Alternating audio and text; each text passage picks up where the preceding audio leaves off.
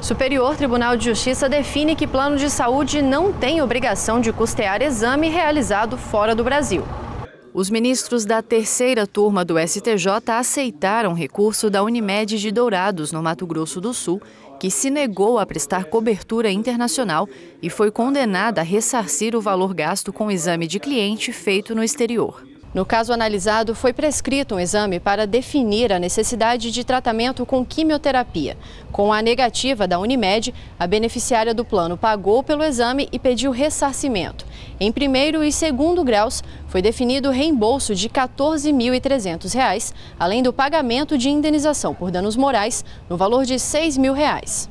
No STJ, a relatora, ministra Nancy Andrighi, explicou que a Lei 9.656 de 1998, que regula os planos de saúde, elenca procedimentos mínimos obrigatórios a serem realizados exclusivamente no Brasil.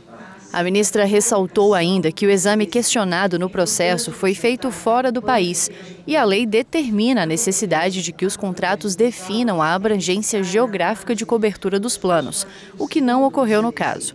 Essa advogada explica a necessidade da previsão e a atenção do consumidor ao contrato. Como não há cobertura internacional, as pessoas quando elas saem do Brasil, elas fazem o seguro viagem.